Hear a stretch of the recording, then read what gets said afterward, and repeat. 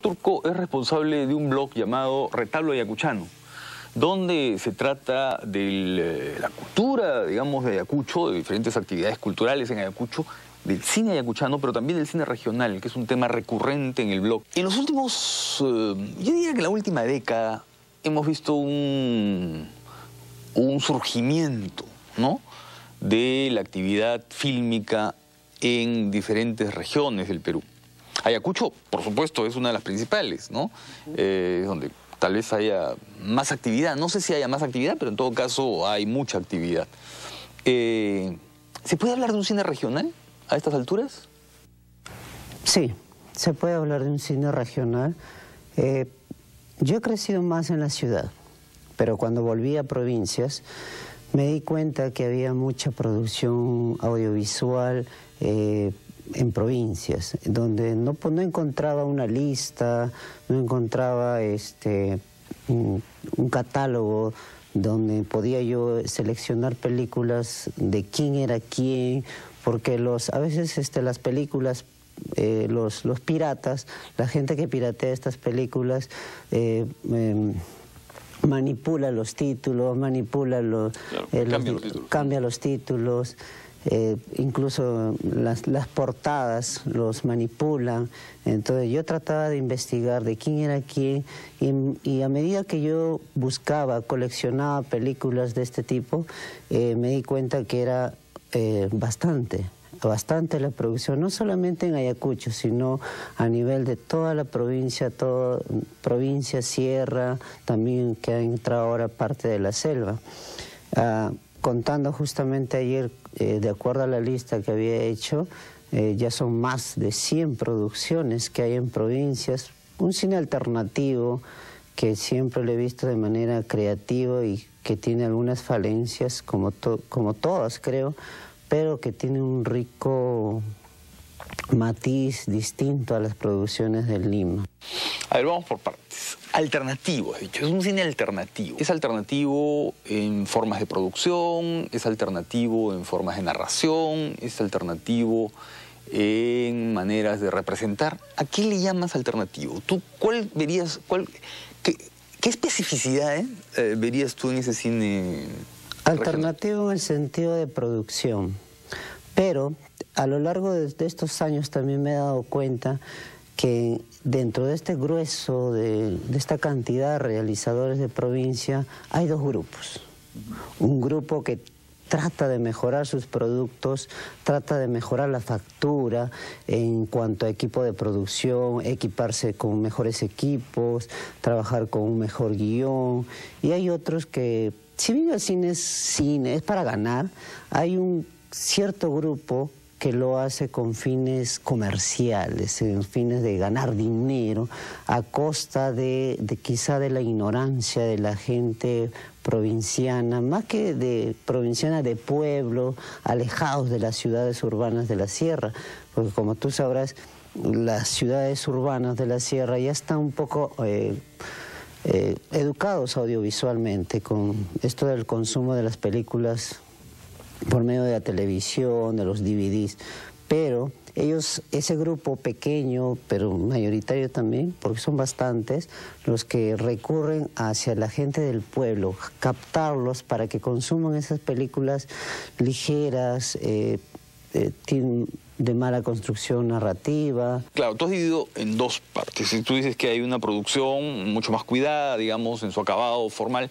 y otra, mm, eh, digamos, que que es mucho más de consumo, ¿no? Películas de explotación.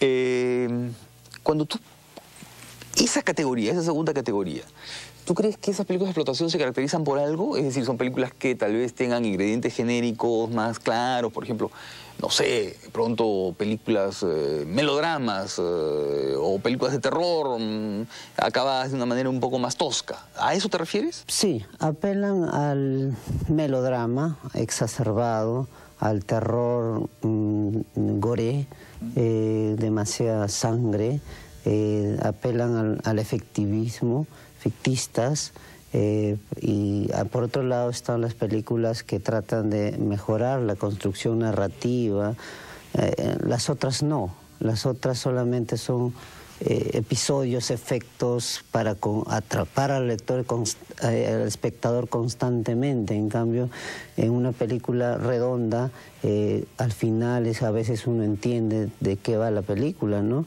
Pero estas películas del otro grupo que, que son efectistas tratan constantemente el sangre, el llanto y, son dos líneas. ¿Tú crees que eso, ese tipo de películas es eh, rinde un provecho económico, rinde una utilidad? Este, ¿Es efectivamente eh, un negocio? Yo creo que sí. Vengo de Ayacucho y hay dos realizadores que están, que están repitiendo cada año sus películas, las mismas películas eh, que han hecho hace 3, 4 años. ¿Cuál es la relación de, eh, digamos, de estos cineastas con lo que son las instituciones, digamos, eh, promotoras del cine en el Perú, con Acine específicamente? Últimamente Conacine ha estado apoyando con los concursos de proyectos, como usted sabe, pero ha sido poco, ha sido bastante limitado ese apoyo del Conacine y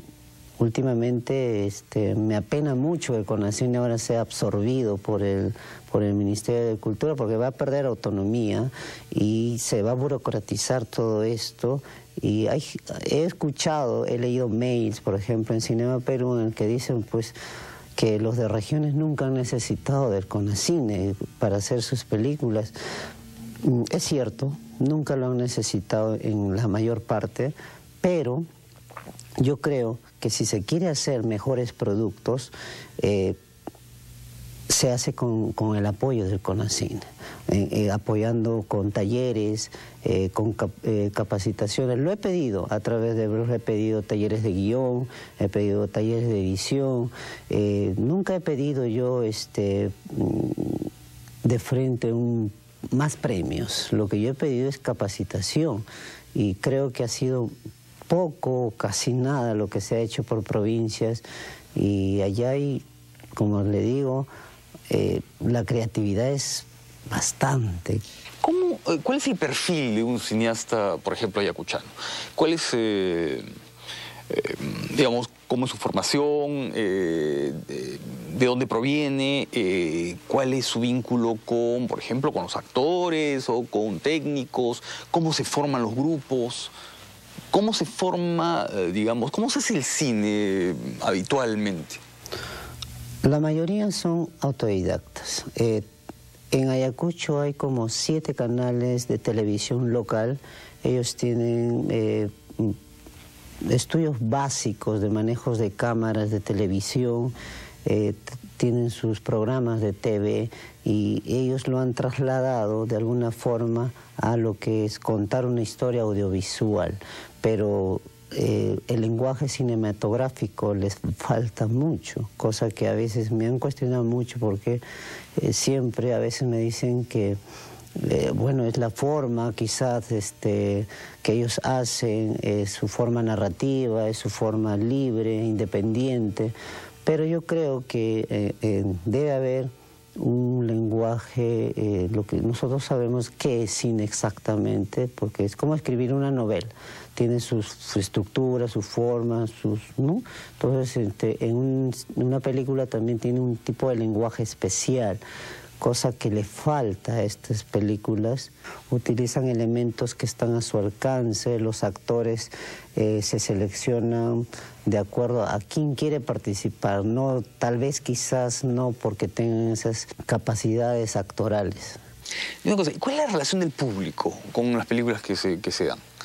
Yo divido en dos partes. De, digamos que de 2007 para adelante ya tenemos un público que quiere mejores productos y un público y del 2007 para atrás que veían estas producciones se dejaban este atrapar porque quizá por el paisaje, por sus temas, el público se está alejando, Ricardo. El público se está alejando de estas producciones porque eh, no hay eh, no hay eh, seriedad en algunos realizadores y muchos no se preocupan en capacitarse, en actualizarse. Hace un año más o menos, tal vez un poquito más, tú pusiste un blog, eh, pusiste un, digo, un post, colgaste un post en, tu blog en el que hablabas de una especie de crisis casi terminal del cine regional, ¿no? Hablabas de que había habido un descenso en general de la, de la calidad de la producción. ¿Sigues pensando eso? No, hasta que apareció dos o tres jóvenes que están dando este, nuevos aires a esta, esta movida que está en verdad de picada. Ahí tenemos a Víctor Sarabia con el Guerrero Chanca, al de Arequipa, este, Ojeda con Etienne. Son producciones nuevas, son producciones este, mejor logradas, con mejores este, buscan mejorar, quizás sorprender al espectador con sus nuevas temáticas o nuevos efectos o la tecnología, pero eh, tratan de mantener el público, que es para mí lo más importante en un cine, no perder el público. ¿Cuáles han sido las películas más exitosas en Ayacucho? En Ayacucho. Bueno, la primera película que se proyectó en el 96 fue realizada de manera improvisada, no la llamaría eh, película así en todo el sentido de la palabra, pero sí fue una producción que captó el interés de toda la ciudad de Ayacucho y luego han venido realizadores como Mellington Eusebio, que hace películas de género terror, que va a esa línea efectista, ¿no? Y este, tiene, tiene gente. Luego vino Palito Ortega también, que hace, este, te toca temas realistas como el terrorismo y, esa, y eso también a la gente llama. ¿Y tu blog? Eh, ¿Lo mantienes? Este... Sí, a, veces he tenido ciertos inconvenientes con la gente también de provincia porque a veces este, doy mi punto de vista, que para ellos es, ellos creen eh, que tengo que defenderlos a capa y espada, eh, todas sus producciones. Como le dije, cuando yo llegué a provincia no había ni una lista. La única lista que encontré fue de su libro de usted, que tiene una breve lista de su libro de historia del cine peruano, una breve lista. Una lista de, con lo que se podía conseguir en esa época. Claro. Que es un problema serio, ¿no? el tratar de reconstruir todo. Y siempre van apareciendo cosas sí, siempre van apareciendo y últimamente, mm, eh, ya que el blog es gratuito, cualquiera lo puede tener, pero no cualquiera puede sostener un blog, es cierto. No, requiere tiempo, requiere tiempo, dedicación. Dedicación, y mantenerlo, ¿no? Eh, yo he tratado de este, hacerlo visible a este cine regional. Algunos me han cuestionado por, por todos meterlos en un saco o etiquetarlos con cine regional. Claro, ese es un problema complicado, siempre crear categorías, ¿no? Es muy distinto, por ejemplo, el cine que hace Omar Forero, en Trujillo, del que hace, este, no sé, Palito Ortega, ¿no? Entonces, eh, claro, son cosas muy distintas, pero bueno... Ah, generalmente cuando uno piensa en, el cine que se hace en diferentes lugares, tiende a ubicarlos geográficamente, ¿no? Y a englobarlos, ¿no? Muy bien, muy bien, Héctor. Muchas gracias, Queda clara tu posición. Gracias.